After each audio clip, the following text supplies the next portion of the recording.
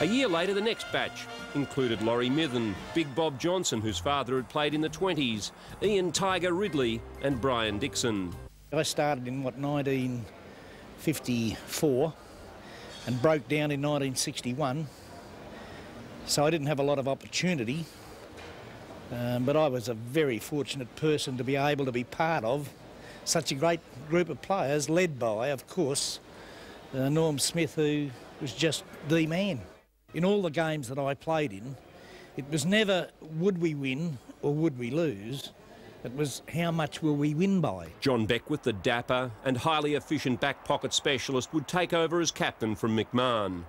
Just at that time, that probably John Beckwith was probably the best player that the club had, and uh, and that often uh, was the reason why um, captains were picked because they were the best player one of, if not the most determined person that I've ever met, whether it was on a football field or off the football field. Like after a game of footy in our day, you'd play a game of table tennis. Well, Barassi just would not be beaten. And, and he would work and work and work uh, until he won.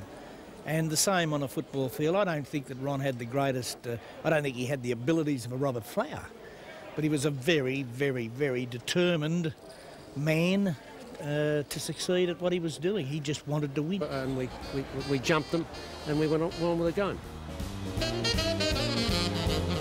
And now you can watch closely as Melbourne's diminutive rover Ian Ridley is floored by Collingwood's Bill Serong.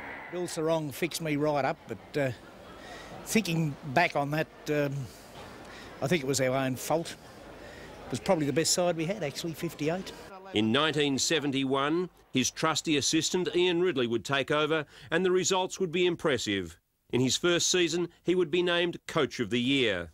Uh, he was a great orator and he, would be able to tell uh, a real sort of picture of uh, how he'd want you to play.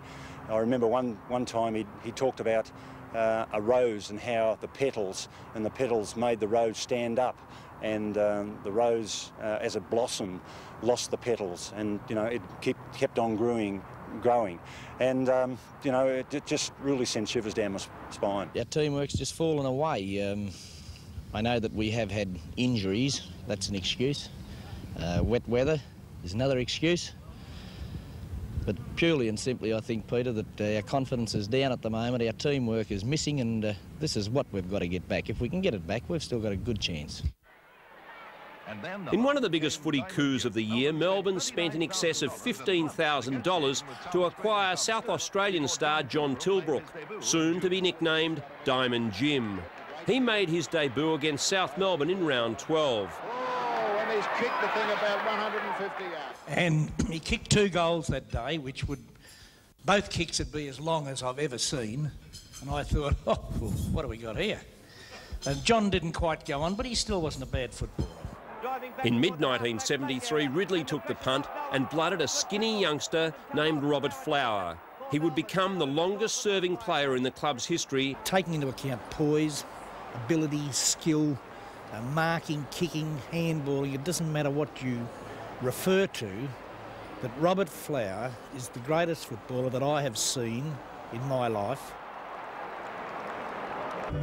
In September 1996 at the Dallas Brooks Hall, emotions overflowed and friendships were shattered as the Demons voted under chairman Ian Ridley to merge with Hawthorn.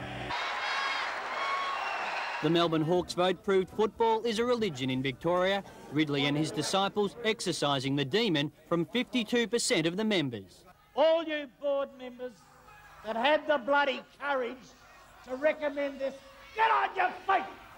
Get on your feet! Get on your feet!